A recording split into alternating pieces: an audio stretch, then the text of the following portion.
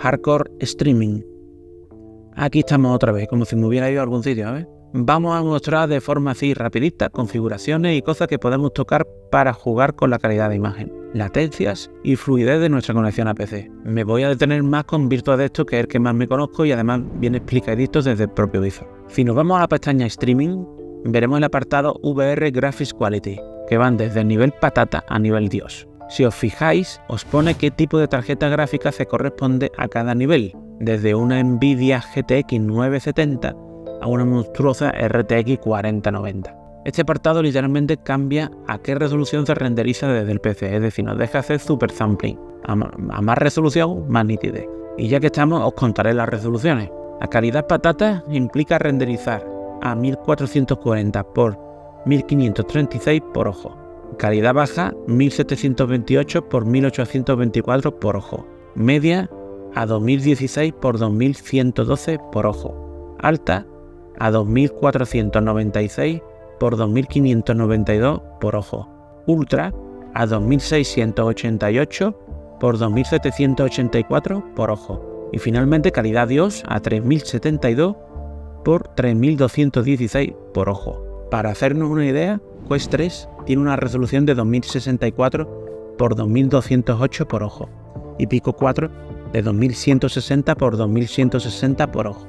Realmente hay que tener un ordenador muy potente, y es que si queremos acercarnos a la resolución nativa del visor compensando la pérdida del streaming, lo suyo es calidad Dios. Lógicamente, la exigencia de esta tarjeta gráfica, aunque Virtual de esto nos da una recomendación, no implica necesariamente que sea esa gráfica. Va a depender sobre todo de qué juego quieras jugar a esa calidad. No es lo mismo intentar jugar en calidad Dios a Flight Simulator que a Beat Saber. Para los que os guste dejar las cosas bien configuradas, Virtua Desktop en esta misma pestaña nos deja activar una capa de rendimiento para que veamos la latencia que se genera en milisegundos a la hora de codificar, decodificar, el tiempo de render, el, paso por red, los fotogramas por segundo, etc.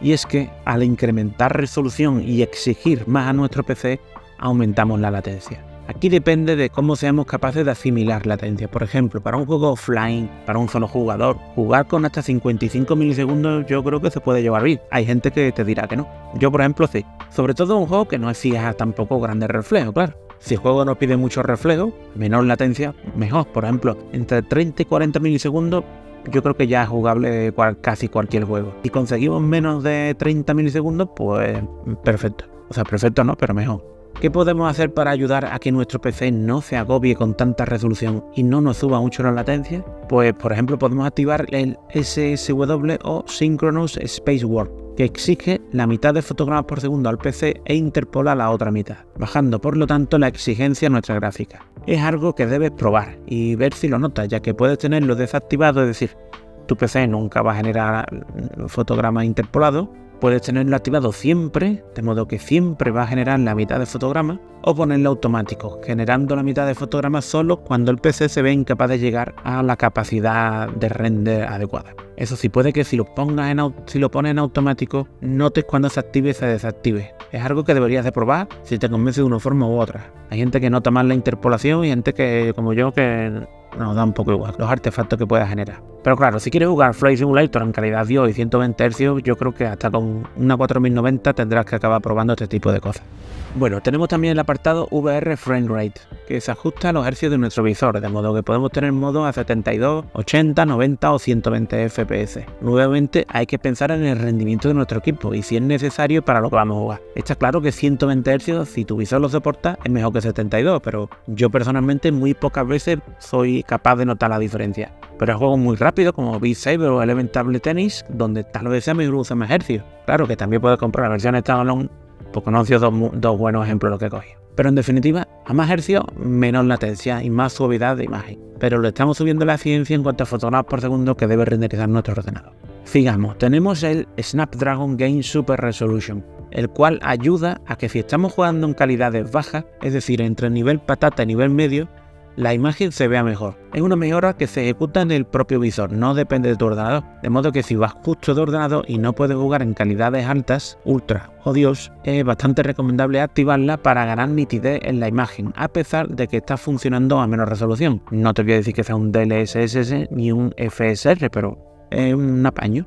Por el contrario, si estás en calidades altas, esta mejora no aporta prácticamente nada. Así que si quieres la pones o no, aunque seguramente si hay alguna mejora es inapreciable.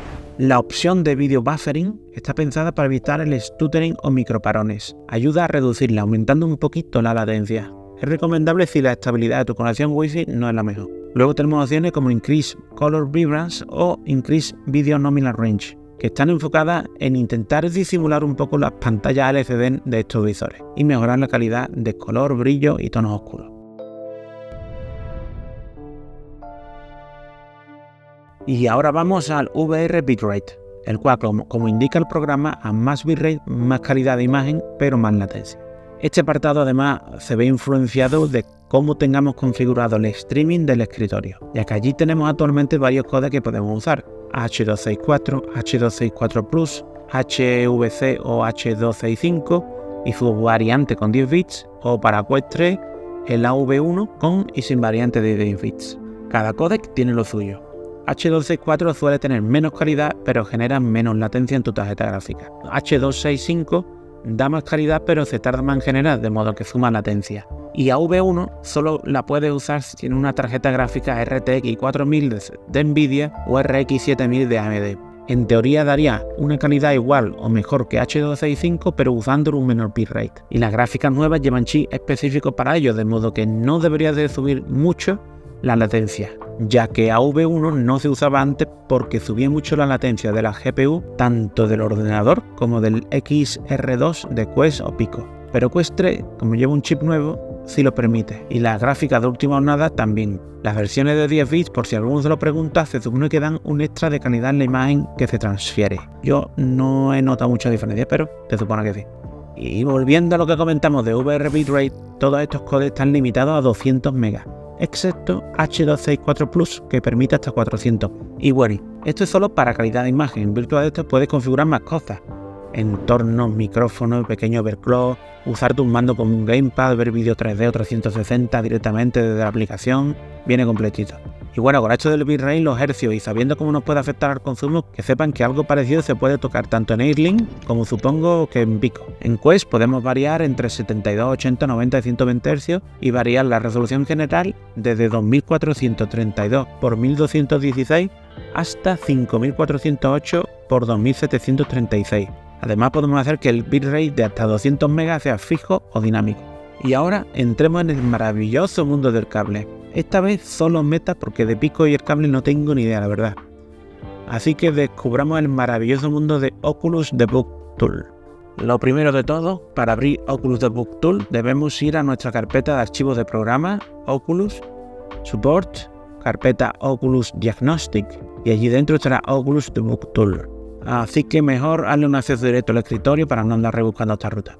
Esto ya es para notas. Espero que vieras todo el tutorial de antes para tener algunos conceptos más o menos claros. Y vemos aquí su correspondencia. No me voy a poner a explicar cada parámetro, pero sí algunos relevantes. El que quiera profundizar más, os invito a buscar en el foro de real o virtual o preguntar por allí, que hay gente que controla más que yo. Pixels per display override, es lo que vendríamos a llamar super sampling. Y como en Airlink podríamos poner 0,5, 1, 1,5, 1,7, etc. Es el factor multiplicador de la resolución. A mayores números, por ejemplo 1,5 ya es bastante, más exigencia para nuestro ordenador, porque estaremos renderizando a más resolución. Asynchronous Space Warp, el interpolador de fotogramas. Como en Virtua Desktop, podemos decir que el ordenador renderice la mitad y la otra mitad los interpole. Podemos quitarlo para no usarlo, forzarlo para que funcione siempre a 45 FPS reales y el resto de fotogramas hacia 90 los interpole, o automático para que se active o desactive la función si no llegamos a los 45 fotogramas. Estos son valores generales de Oculus Book. Ahora entremos concretamente a los de Link. Distortion Curvature esta opción nos permite cambiar la densidad de píxeles. Si ponemos High, alto, estaremos metiendo más resolución en la parte central de la pantalla. Y si ponemos Low, bajo, reducimos distorsión en los bordes de las lentes, aumentando la claridad en la periferia repartiendo la resolución. Depende del gusto de cada uno, pero generalmente High, High alto suele estar bien porque es donde solemos tener más píxeles en las pantallas y además donde solemos centrar la atención a jugar. Video codec nos deja elegir entre H264 o H265. Supongo que en una futura actualización existirá la opción AV1, pero ahora mismo no. Encode Resolution Width. Aquí podemos establecer resoluciones, concretamente el ancho. Por ejemplo, para Quest 2 recomendamos un valor de 3664 píxeles y para Quest 3 4128, las resoluciones horizontales nativas. En Codec Dynamic Bitrate, como en AirLink, establecer si queremos que de forma dinámica varíe la cantidad de bitrate. En el siguiente Dynamic Bitrate Max, definir el máximo al que codificar lo cual nos lleva al siguiente paso, encode bitrate, por si no lo queremos usar dinámico, va a depender de nuestra tarjeta gráfica. Este sería un valor fijo el que establecemos aquí. Por ejemplo, para Quest 2 y una tarjeta GTX 1080 recomendamos 225. Para una RTX 2070 Super recomendamos 500. Si estamos usando H265, un bitrate de 200 podría ser equivalente a un bitrate de 400 en H264. Lo dicho, esto es prueba y error, o buscar configuraciones de otro usuario y probarlas. Va a depender de nuestra tarjeta gráfica, la resolución que estemos usando o queramos usar, está todo relacionado. Link Sharpening. Este es un filtro que hace a la imagen y ayuda a ganar nitidez. La verdad es que está bastante apañado. Es parecido a lo que comentamos antes en Virtual Desktop, pero para usarlo con el cable. Y bueno, tenemos opciones para activar capas de información para analizar el rendimiento y muchas otras cosas, en las que no quiero ni debo entrar porque ya se me hace tarde y tengo papa quizás que hacer de comer. Así que os diría que esto lo tenía en un artículo más extenso y detallado en la web de realovirtual.com, pero no, la verdad es que no pero si, tenéis mucha información y configuraciones en los foros de realovirtual.com y gente por allí que ante las dudas os sabrá explicar de forma más técnica para los que quieran maximizar la calidad de imagen ya sea en cable o por wifi. Así que me despido, no sin antes recomendar que pongáis este vídeo a 0.25x en YouTube, de modo que parezca que estoy borracho hablando de Virrey y Codex. Tal vez sea más divertido que el tocho que acabo de soltar. Y no olviden que se pueden suscribir, que es de gratis, darle a la campanita, me dan un like por el esfuerzo que he hecho. Y ya que están, si os apetece y pueden, al Patreon. Que la realidad os sea leve.